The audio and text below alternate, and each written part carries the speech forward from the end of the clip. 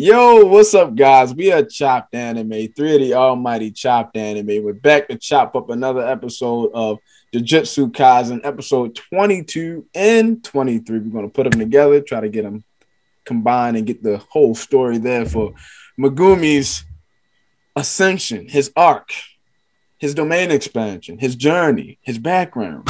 We got a lot in these last two episodes, basically centered around Megumi and him just where he come from, where he came from. Uh, we find out he has a sister apparently. The you know we find out that uh, he was the the guy in high school. He was a bully. Find out he was pretty strengthy uh, compared to normal people. We find out something about Gojo and him. You know we'll discuss that. But uh, what you got for us, man, on this? Yeah, so it's so it's interesting. So Megumi Megumi's sister got cursed and she's been out since, but this is not that's not related to the current mission that we have.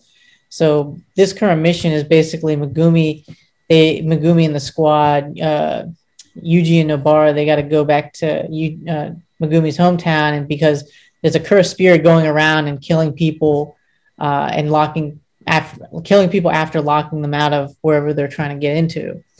So they come back to the school uh, that Megumi was part of because a lot of the people that are being killed went to that school, and we find out that Megumi was just a bully. He would just beat every everybody up, and he was a troublemaker. Um, so, and then you go and you also find out that this cursed spirit, Megumi is afraid that it's going to kill his sister as well, and so that's really what kicks everything off. You know, they that's why they they become all serious and they think that okay it's very likely that this cursed spirit might be too powerful for them. So yeah it's interesting. I megumi's backstory of being bully is like completely not what he seems like he would be. So i really wonder what really made that that switch happen. Like was it his sister or what yeah, it was probably his sister, and he finally grew up. you know, he was probably young and like, hey, it, it, it seems like he was a runt of the Zenin clan, so he probably had a bad upbringing or like resented something where you know he lashed out. That's usually what happens with kids, you know, lashing yeah. out and being bullies and uh, not being nice to other people. So yeah, yeah. That's also that's also his half sister too. Right. So they didn't grow up together. Yeah. They like he, met like midway or something. Right. He didn't like her very much. Uh, I guess because he was his half sister. Oh, she was his half sister, and he did resent his upbringing because of the whole tie to the Zenin clan. Uh, his life was basically shaped around the Zenin clan. He's his literal his literal purpose was to create a super kid in the Zenin clan, basically, like a project or whatever, and to be sold to the Zenin clan. It's he, terrible parents, but um, luckily Gojo saved the day and uh, stopped it, stopped the sale to the Zenin clan to uh, to help the sale of his tuition to to, to Jujutsu Tech. Uh, so that was that was an interesting thing to find out. You know, never change Gojo. Um, so it's interesting because there's tuition. This school has tuition. Like what? Like is Yuji paying tuition for this? Man, Yuji gets a full ride, brother. All right, he's out here being an experiment and eating all these Sukuna fingers. I think he gets a full ride. Yeah. yeah. So like it's uh, so we figure out that he he so we see why when he gets to the bridge, we figure out that the curse spirit is tied to the bridge, right? And when they arrive to the bridge, they enter into the how does this work? There's some type of water that mean they were going into the the veil. I think there's like there's a veil created, and that's what they enter in. Right. So they get in there, and they he they're fighting Diglett, and everyone everyone gets an opponent eventually in the uh in the show.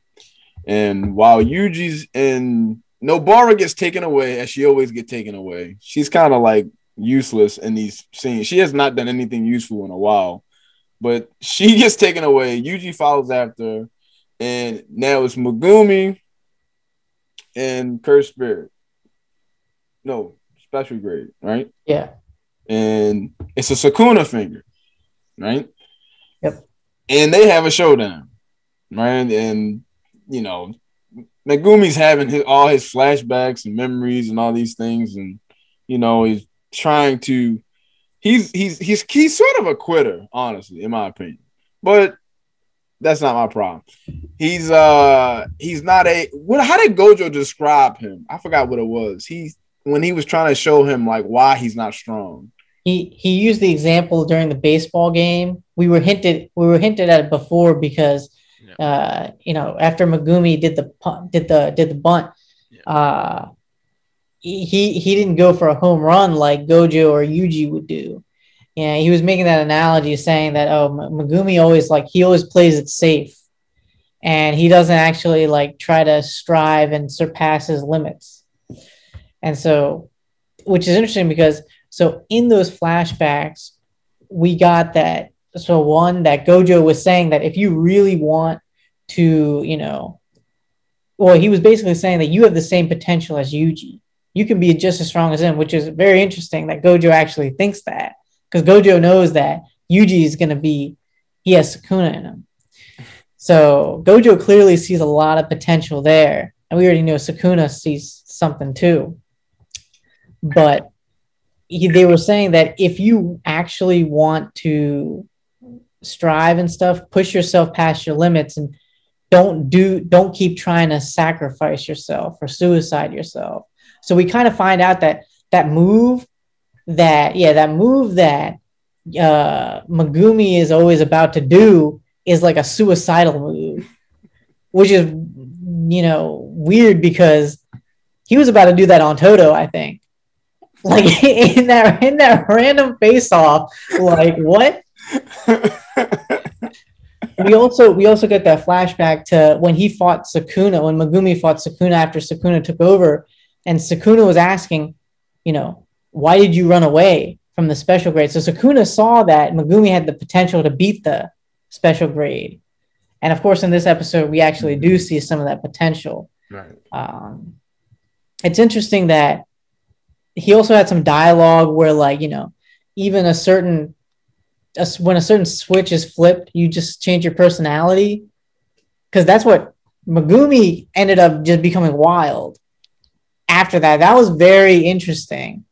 You know, uh, maybe this is also part of the what Sukuna might see. I don't know because if you look on if you look behind Amoya, that same scene is was was before when Sukuna when Sukuna appeared in Yuji.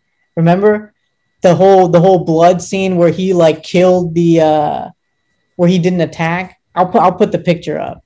But that same exact scene is is the same scene that uh, Sukuna was in.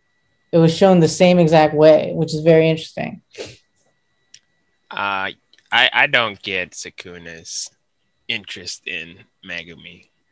Like I, you know, he probably has potential and he's strong, but he's no Yuji or Todo, man. All right, like maybe maybe I get proven wrong. Maybe you know I get attacked in the comments, or somebody might explain better. You know, who knows better? But I, I don't see this hype behind um, Megumi. I mean, you know, he was able to do that partial domain expansion, which is cool, right? I mean, not a, not a lot of cursed uh, uh, or jujutsu um, sorcerers are able to create the domain expansion. Our boy Nanami couldn't do it, right? So it's it's kind of impressive that a first year um, sorcerer is able to do it, but man, Sukuna, you need to be more interested and paying more attention to Yuji. Maybe he already knows Yuji's that dude. Yeah. yeah. I think Yuji put him on notice when he realized he could just switch when he wanted to, and you can't just take over his body. So, yeah, you know, I, I'm on board with Amoya here.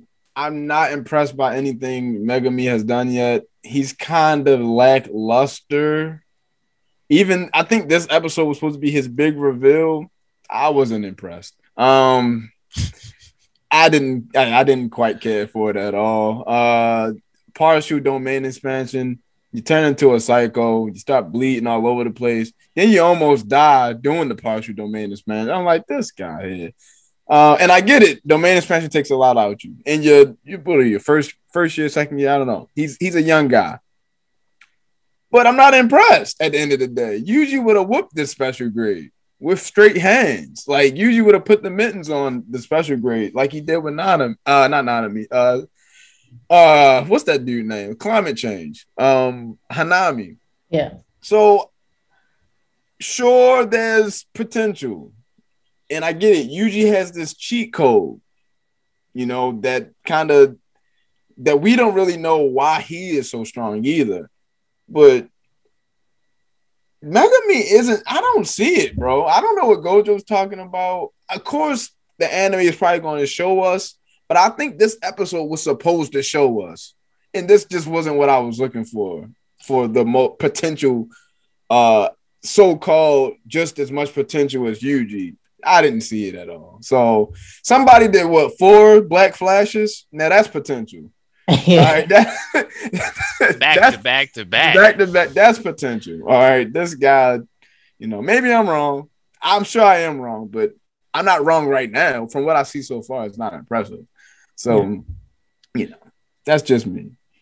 I, I- I will give him props that he didn't run away this time from the similar-ish special grade, right? Mhm. Um, and I think I think one key thing to bring up while he was um, fighting the special grade, I think he crunched some numbers and he realized that these the the bridge curses started um, happening and people started dying around the same time that Yuji ate Sukuna's fingers. So, you know, that was definitely a catalyst to kind of get all these cursed spirits and cursed energy to start strengthening again. And uh, going back to our theory in the previous a couple videos about how Halloween, possibly October 31st, could be the peak of the cursed energy for the cursed spirits. Um, so maybe maybe this is building up you know as as yuji eats more sukuna fingers there's going to be a stronger pull of uh all these cursed spirits Yeah. Oh, you're right. I didn't think about that. Dang, people about to be dying. This is bad. Yeah, I I did not think about that at all. Actually, that's a good point, Amoya. I don't know. and i don't think it's coincidence that this special grade who had the sukuna finger looked just like the one previously that they fought. Um so maybe we'll see more of these special grades. Who knows? Maybe some of them might even have more than one finger uh you know attached to them. So we'll see man. We'll see uh i think you are right though. We're gonna see more death and destruction caused by cursed spirits as they get stronger and as uh, they become more prevalent. So if you're trying to power scale this, this special grade was one Sukuna finger. Jogo is about seven or eight Sukuna fingers. So Megumi, maybe you could say, is as strong as two Sukuna fingers. But if Yuji is able to go kind of on par with someone at, because he, he fought Hanami. So Todo and Todo and Yuji can beat us eight fingers. So four each, right? I mean, Yeah, maybe Yuji- like four Yuji- each. Yuji did consume about four or three or four, right? Yeah, but he hasn't been using that Yeah. to fight. He's fighting off the strength of him, whatever this fake, whatever, whatever he has inside of him. He's been fighting off that. Yeah. So, He yeah, has three fingers, I think. right.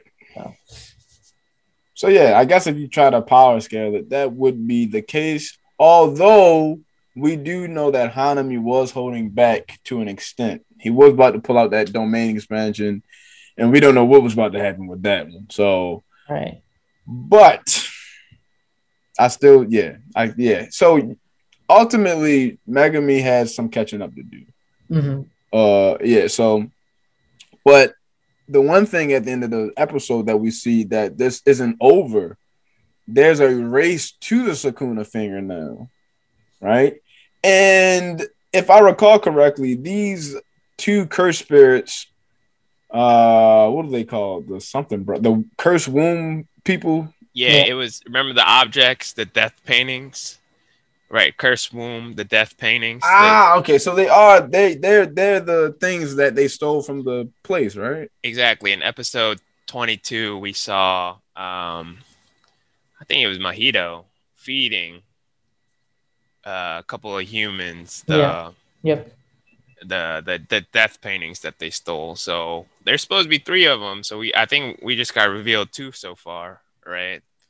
The weird deformed creature Hmm. and uh Backface. Okay. I'm sure that's not their name, but you know, you know how we do with names here in Chopped Anime. Wait, wasn't the blue the blue monster too? Wasn't Right. that another one?